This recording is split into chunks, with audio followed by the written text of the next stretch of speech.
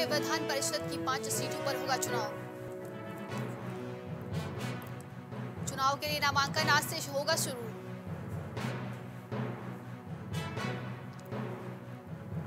तीन खंड स्नातक और दो खंड शिक्षक निर्वाचन क्षेत्रों के लिए होगा चुनाव।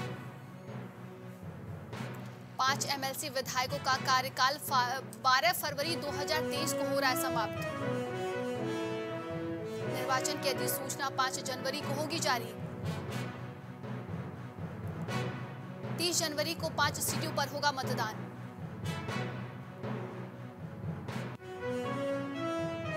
दो फरवरी को होगी मतगणना।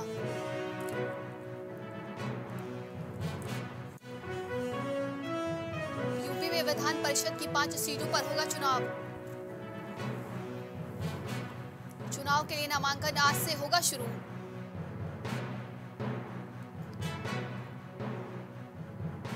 खंड स्नातक और दो खंड शिक्षक निर्वाचन क्षेत्रों के लिए होगा चुनाव। और इस खबर पर अधिक जानकारी के लिए हमारे साथ जुड़ेंगे गौरव।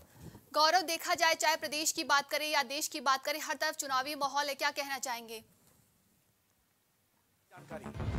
सर, नंदिनी, यहाँ माहौल चुनावी है और हमारे देश में जो चुनाव की प्रक्रिया है, वो अलग अलग राज्यों में, अलग अलग पंचायतों में, अलग अलग व्यवस्थाओं में चलती रहती है। चाहे विधान परिषद की बात करें, चाहे लोकसभा की बात करें राज्यसभा की बात करें तो कहीं ना कहीं देश में इस समय हमेशा देखते हैं हम कि माहौल चुनावी बना रहता है। और उत्तर प्रदेश की बात करें तो सबसे ज़्यादा लोकसभा सीट और सबसे ज़्यादा विधानसभा सीट होने के चलते यहाँ भी हमेशा माहौल चुनावी बना रहता है और विधान परिषद की सीटों पर यहाँ पर चुनाव के लिए आज घोषणा होगी और जिस, जिसके तहत यहाँ पर आज से नामांकन शुरू होगा, बारह जनवरी तक नामांकन होगा, उसके सोलह जनवरी तक आप नामांकन पत्र वापसी अगर करना चाहते तो ले सकते हो, उसके बाद तीस जनवरी को चुनाव होगा और दो फरवरी को यहाँ पर नतीजे आएगा, जिसके लिए तैयारी लगातार चल रही है। मैं आपको बता दूँ कि बारह फरवरी को तीन खंड स्नातक एमएलसी और दो शिक्षक एमएलसी का यहाँ पर जो कार्यकाल है, वो खत्म हो रहा है, जिसके लिए भाजपा और सपा दोनों ही यहाँ पर मैदान में है और पूरी रणनीति के साथ यहाँ पर अपने प्रत्याशी उतारेंगी।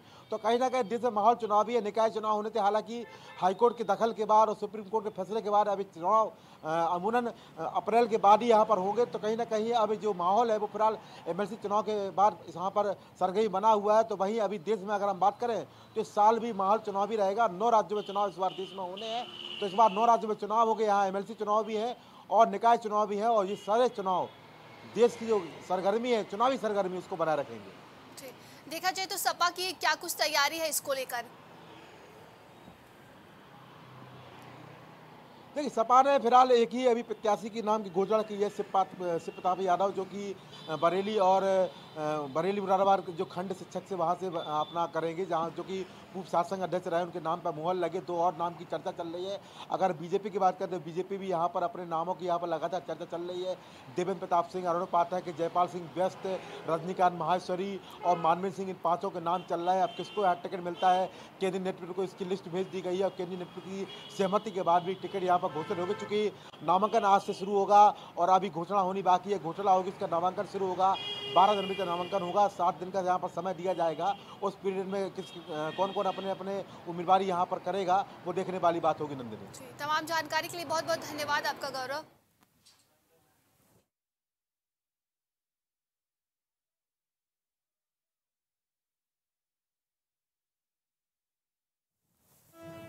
सपा मुखिया अखिलेश यादव का दिल्ली दौरा। सपा पिछड़ा वर्ग प्रकोष्ठ अध्यक्ष राज्यपाल कश्यप से की मुलाकात। ओबीसी आरक्षण मामले की पैरवी को लेकर अखिलेश से चर्चा। आरक्षण मामले पर आगे की रणनीति पर बातचीत। सपा मुखिया अखिलेश यादव का दिल्ली दौरा। सपा पिछड़ा वर्ग प्रकोष्ठ अध्यक्ष राजपाल कश्यप ने की मुलाकात। ओबीसी आरक्षण मामले की पैरवी को लेकर अखिलेश से चर्चा। आरक्षण मामले पर आगे की रणनीति पर बातचीत। सपा मुखिया अखिलेश यादव का आज दिल्ली दौरा। सपा पिछड़ा वर्ग प्रकोष्ठ अध्यक्ष राजपाल कश्यप से की मुलाकात। ओबीसी आरक्षण मामले की पैरवी को लेकर अखिलेश से चर्चा। आरक्षण मामले पर आगे की रणनीति पर बातचीत।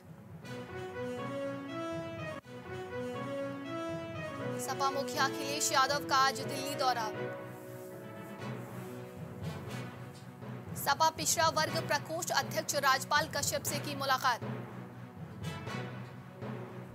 बता दें कि ओबीसी आरक्षण मामले की पैरवी को लेकर अखिलेश से चर्चा। आरक्षण मामले पर आगे की रणनीति पर बातचीत। सपा मुखिया अखिलेश यादव का आज दिल्ली दौरा। सपा पिछड़ा वर्ग प्रकोष्ठ अध्यक्ष राज्यपाल कश्यप से की मुलाकात। ओबीसी आरक्षण मामले की पैरवी को लेकर अखिलेश से चर्चा। आरक्षण मामले पर आगे की रणनीति पर बातचीत। और इस खबर पर अधिक जानकारी के लिए हमारे साथ जुड़ेंगे विभांशु। विभांशु, देखा जाए तो आज सपा मुखिया अखिलेश यादव का दिल्ली दौरा है ओबीसी आरक्षण मामले को लेकर। जी नंदनी, आपको बता दें, ओबीसी आरक्षण मामले को लेकर समाजवादी पार्टी की तरफ़ से अब देखा जाए तो कहीं ना कहीं इस मामले को लेकर वो सक्रिय हो गए हैं और कोई चूक नहीं चाहते हैं। आपको बताएँ कि मैनपुरी उपचुनाव में मिले जीत के बाद समाजवादी पार्टी का जो हौसला है, उसमें काफ़ी इजाफा देखने को मिला है। अगर बात की जाए तो आज राजधानी दिल्ली में देश के तमाम जो बोर्ड के अध्यक्ष हैं, साथ ही साथ आपको बताएँ कि समाजवादी पार्टी के पिछड़ा वर्ग के अध्यक्ष राजपाल कश्यप और समाजवादी पार्टी के अध्यक्ष, राष्ट्रीय अध्यक्ष अखिलेश यादव आज दिल्ली दरबार पहुँचे वहाँ वो सुप्रीम कोर्ट में जाकर एक अपील दायर करेंगे, जिसमें साफ़ तौर से जो पिछड़ा आरक्षण है, उसके बगैर चुनाव न कराया जाए। राजपाल कश्यप ने साफ़ तौर से जब वो दिल्ली निकल रहे थे, उससे पहले अपने मीडिया बाइट्स में उन्होंने कहा है कि ओबीसी आरक्षण के बगैर चुनाव न हो और ये संविधान के खिलाफ है, इसके लिए हम ऊपर के दरवाजे खटखटाएँगे। आपको बताएँ कि कहीं ना कहीं देखा जाए तो ओबीसी आरक्षण का मामला उत्तर प्रदेश का जो सियासी घमासान है, उसको कहीं ना कहीं गति दे रहा है। बात की जाए तो अभी हाल फ़िलहाल में जब हाईकोर्ट का फैसला आया तो उसमें साफ़ तौर से ओबीसी आरक्षण के बगैर चुनाव कराने की बात कही गई थी। जिसके बाद आपको बताएँ कि ये मामला अब सुप्रीम कोर्ट पहुँचा है और सुप्रीम कोर्ट को ये तय करना है कि चुनाव कब होंगे और चुनाव की अगर बात करें तो किस ए, क्या व्यवस्था की जाएगी? बात की जाए तो क्या फिर से ट्रिपल लेयर टेस्ट कराया जाएगा या फिर से जो ओबीसी आरक्षण का है उसके लिए फिर से नए तरीके से मॉनिटरिंग की जाएगी? वो आने वाले दिन में पता चलेगा। मगर साफ़ तौर से देखें तो ओबीसी आरक्षण को लेकर अब समाजवादी पार्टी भी पीछे नहीं है। वो अलग से इस मामले को लेकर अपील कर रही है कि बिन, बिना ओबीसी आरक्षण के चुनाव न हो। और राज्यपाल कश्यप जो कि पिछड़ा वर्ग के अध्यक्ष है उनका साफ़ कहना है कि अगर ओबीसी आरक्षण के बगैर चुनाव होता है तो कहीं ना कहीं संविधान के जो मूल्य है उन उसका हनन है। और साथ ही इसके बगैर जो चुनाव कराना जो पिछड़ा वर्ग है और साथ ही साथ जो ओबीसी वर्ग के लोग हैं उनके साथ कहीं ना कहीं उनके जो मूलभूत उनके तंत्र है उसके साथ नुकसान होगा। जी। जी। तो क्या सपा आगे भी ओबीसी मामले को लेकर कोई और रणनीति बना सकती है? जी अगर बात की जाए तो अगर देखें नंदनी तो भारतीय जनता पार्टी जब सत्ता में आई तो ओबीसी का एक अच्छा खासा समर्थन मिला था, ओबीसी वोट बैंक का। उसी को लेकर कहीं ना कहीं अब समाजवादी पार्टी भी अब इस बात को कह रही है कि हम इस अब सड़क से लेकर और संसद तक प्रदर्शन करने के लिए तैयार हैं। अगर ओबीसीओ के साथ सही फैसले नहीं दिए दिए गए, उनके हक नहीं दिए गए तो हम उनके साथ खड़े हैं। तो कहीं ना कहीं देखा जाए तो भारतीय जनता पार्टी का जो कोर वोटर है, उसके साथ शेरमारवी को तैयार है समाजवादी पार्टी। आने वाले दिनों में देखा जाए तो माना ये जा रहा है कि मार्च के बाद चुनाव होंगे। वो आ, वो आने वाले दिनों में देखने वाली बात होगी कि कोर्ट इस पर क्या फैसला सुनाता है मगर पूरी तरह से ट्रिपल लेयर टेस्ट ओबीसी आरक्षण सभी चीज़ों को लेकर चलना होगा। और कहीं ना कहीं देखें तो इसको लेकर अब भारतीय जनता पार्टी जहाँ एक तरफ़ अपनी पैरवी कर रही है समाजवादी पार्टी भी इसमें पीछे नहीं है और बगैर ओबीसी आरक्षण के समाजवादी पार्टी चुनाव कराने के पक्ष में नहीं है और वो इस बात को माननीय कोर्ट को कह रही है अब दलील दे रही है कि इसको भी अपने फैसलों में संलग्न करे। जी। तमाम जानकारी के लिए बहुत बहुत धन्यवाद आपका, विभांशु।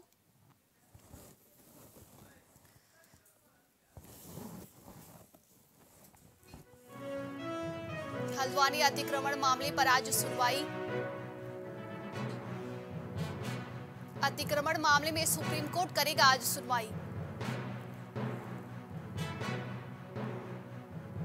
हाईकोर्ट ने अतिक्रमण हटाने का दिया था आदेश।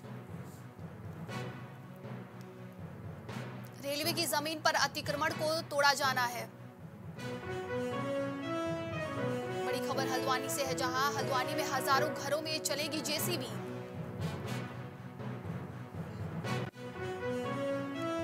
हल्द्वानी अतिक्रमण मामले पर आज सुप्रीम कोर्ट में सुनवाई होगी, आपको बता दें। अतिक्रमण मामले में सुप्रीम कोर्ट करेगा आज सुनवाई।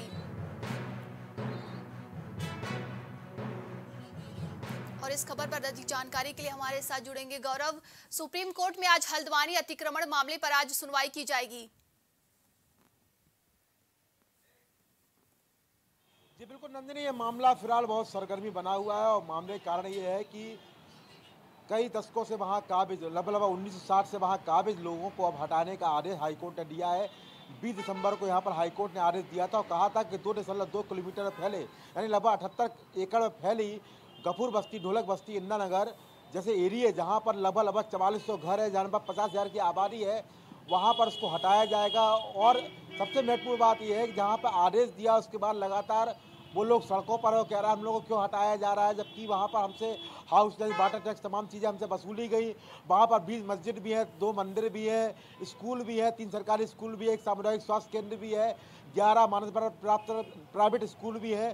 तो इतनी तमाम चीज़ें वहाँ पर कैसे बन गई? अगर बात करें हवाला की तो अगर हवाला हाईकोर्ट ने कहा है कि अगर ये चीज़ें हैं तो वहाँ पर रेलवे नहीं, वहाँ पर पचरा का रेलवे कहना है कि हमारे पास तमाम तरह के रिकॉर्ड है। हमारे पास उन्नीस सौ उनसठ का हमारे पास नोटिफिकेशन रिकॉर्ड है, उन्नीस सौ इकहत्तर का रेवेन्यू रिकॉर्ड है, जो सत्रह की सर्वे रिपोर्ट है, वो स्पष्ट करती है कि भूमि रेलवे की और यहाँ पर अवैध रूप से अतिक्रमण करके यहाँ पर परिवार रह रहे थे और उनको अब हटाया जा रहा है, जिसके लिए बीस दिसंबर को फैसला आया था और नौ जनवरी तक का उनको समय दिया गया नोटिस दिया गया, जिसके लिए रेलवे की तरफ़ से पूरी तैयारी कर ली गई। फ़िलहाल ये मामला सुप्रीम कोर्ट गया है, जहाँ पर याचिकाकर्ताओं की तरफ़ से यहाँ पर वरिष्ठ वकील प्रांत प्रसाद भूषण अपना यह मामला देख रहा है, वो यहाँ पर दलील देंगे।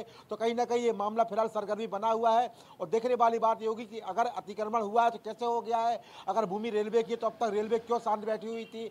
और सबसे महत्वपूर्ण बात है कि अब तक उनसे हाउस टैक्स वाटर टैक्स क्यों वसूला जा रहा था? बिजली के बिल क्यों लिया जा रहा था?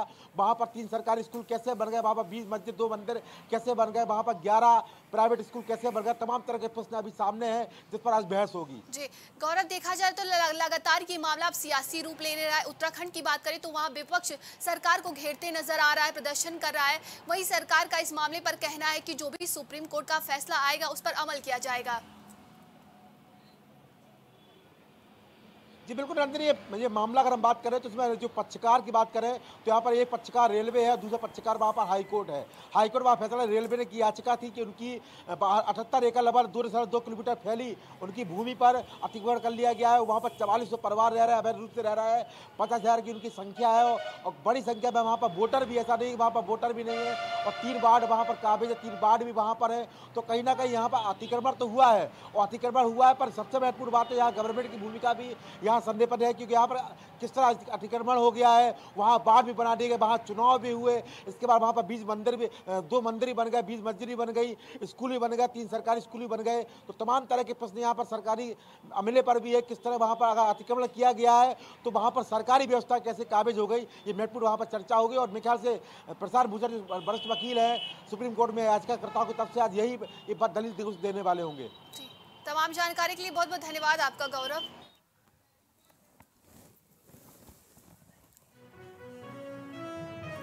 कानपुर में बैलेट से होगी एमएलसी चुनाव। नौ मतदान केंद्र बदले गए।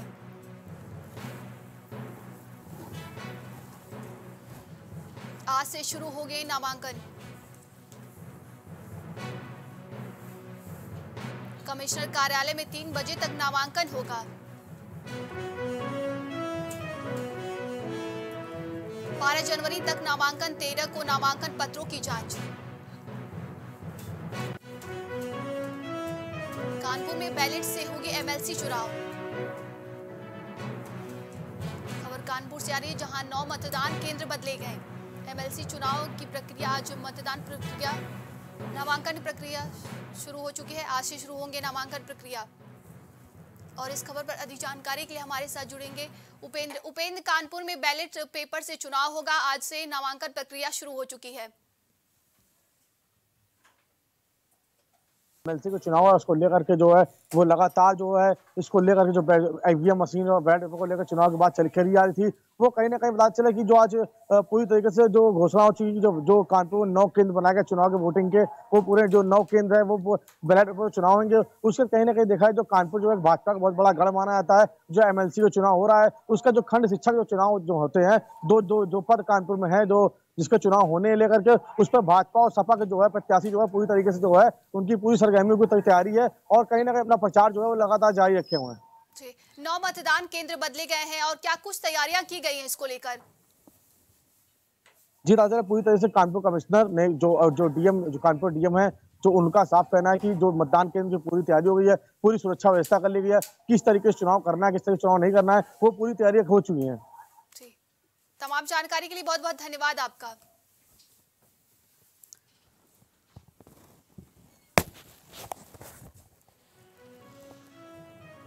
लखनऊ में महाकुंभ से पहले रोडवेज़ प्रशासन खरीदेगा पाँच हज़ार बसें। वर्ष 2025 के महाकुंभ से पहले बेड़े में शामिल होंगी बसें। इस साल 1000 अगले करीब 3000 बसें खरीदी जाएँगी। बाकी शेष उसके अगले वर्ष खरीदने की योजना बनाई जा रही है। कबाड़ बसों को बेचकर नई बसें खरीदने की योजना तेज हो गई है। और इस खबर पे अधिक जानकारी के लिए हमारे साथ जुड़ेंगे विवेक। महाकुंभ से पहले रोडवेज़ प्रशासन खरीदेगा 5000 बसें। देखिए नंदनी उत्तर प्रदेश परिवहन निगम द्वारा एक बड़ा फैसला लिया गया है माघ मेले को लेकर। माघ मेला जो है हर वर्ष जो है इलाहाबाद के संगम के तट पर लगता है और लाखों की संख्या में जो है श्रद्धालु जनवरी छः से लेकर 18 फरवरी तक जो है वो माघ मेले में आते हैं, डुबकी लगाते हैं। और अगर हम बता दें कि बसंत पंचमी से लेके खिचड़ी से लेके बसंत पंचमी के दिन यहाँ पे श्रद्धालुओं की लाखों भीड़ लगती है। सबसे पहले शाही स्नान होता है, उसके बाद सारे श्रद्धालुओं के लिए ये स्नान खोल दिया जाता है। हम बात करें कि उत्तर प्रदेश सरकार लगातार माघ माघ मेले को लेकर कई प्रकार के अहम फैसले ले रही है। यही उत्तर प्रदेश परिवहन निगम के द्वारा पाँच हज़ार बसें जो है, वो चलाने की बात कही जा रही है और कुल 2800 नई बसें चलाने की बात कही जा रही है। अगर देखा जाए तो 200 अतिरिक्त बसें भी रिज़र्व किया जा रहा है। लेकिन सबसे बड़ी बात यह है कि जो पुरानी बसें हैं, उनको बेचकर जो है नई बसें को खरीदने पर ज़्यादा ज़ोर दिया जा रहा है। परिवहन विभाग द्वारा इस तरह की चीज़ें जो है लगातार आत, आती दिखाई दे रही हैं। वहीं अगर बात की जाए तो उत्तर प्रदेश परिवहन विभाग के के अलावा भी आ, रेल मंत्रालय ने भी कई स्पेशल ट्रेनें जो है माघ मेले के लिए संचालित करने के आ, की संचालित कर रहे हैं और स्टेशन पे ही यात्रियों के रुकने की व्यवस्थाएँ भी करा रही है। तो उत्तर प्रदेश सरकार माघ मेले के लेकर कई अहम फैसले ले चुके हैं। उसकी तैयारियों को लेकर कई अहम फैसले ले चुके हैं क्योंकि यहाँ पे लाखों की संख्या में श्रद्धालु जुटते हैं स्नान करते हैं डुबकी लगाते हैं। इस हिसाब से उनकी सारी सुविधाओं को देखना प्रदेश सरकार का एक जिम्मा बन जाता है, जिसको लेकर प्रदेश सरकार आगे बढ़ रही है और परिवहन विभाग एक अच्छी पहल कर रहा है माघ मेले को लेकर। तो ये थी रोडवेज़ प्रशासन की तरफ़ से तैयारी महाकुंभ मेले को लेकर और क्या कुछ तैयारियाँ की गई हैं? देखिए नई बसें चलाने की बात कही जा रही है। 200 बसें जो है रिज़र्व रिज़र्व रखी गई है ता, ताकि किसी आपातकालीन स्थिति में उन 200 बसों का इस्तेमाल किया जा सके। इसके बाद जो पुरानी कबाड़े बसें हैं उनको बेच उनको बेचकर नई बसें खरीदने की ज़िम्मेदारी भी तय कर दी गई है। और आज ही सूबे के नगर विकास मंत्री ए के शर्मा जो है लगभग एक बजे प्रयागराज पहुँचेंगे जहाँ पे माघ मेले की तैयारियों को जायजा लेंगे। इसके पहले वो दो बार वीडियो कॉन्फ्रेंसिंग के ज़रिए वहाँ के कमिश्नर से माघ मेले की तैयारी को जायजा ले चुके थे। वहाँ के कमिश्नर लगातार जो है माघ मेले की तैयारी को जायजा लेने के लिए वहाँ पे उपस्थित थे, लगातार समीक्षा कर रहे थे। लेकिन आज नगर विकास मंत्री तरह खुद प्रयागराज में माघ मेले की स्थिति को जायजा लेने के लिए वहाँ पे पहुँचे हुए हैं। करीब एक बजे वो वहाँ पे पहुँचेंगे, सारी स्थितियों का जायजा लेंगे, पदाधिकारियों से बात करेंगे, ताकि श्रद्धालुओं को, जो लाखों की संख्या में श्रद्धालु जुटते हैं जनवरी छः से लेकर अठारह फरवरी तक जो है माघ मेले का कार्यक्रम है जहाँ पे लाखों श्रद्धालु डुबकी लगाएँगे। तो इन श्रद्धालुओं को किसी प्रकार की असुविधा का सा, आ, सामना न करना पड़े। बसों के अलावा जो वहाँ पे टेंटों की व्यवस्था होती है उनके रुकने की व्यवस्था होती है साफ़ सफ़ाई की जो व्यवस्था है उसको लेकर समीक्षा करेंगे उसको लेकर पदाधिकारियों से बातचीत करेंगे और उसके बाद बातचीत करने के बाद आठ बजे के करीब लखनऊ के लिए लखनऊ पहुँच जाएँगे अपने आवास से पहुँच जाएँगे। तमाम जानकारी के लिए बहुत बहुत धन्यवाद आपका विवेक।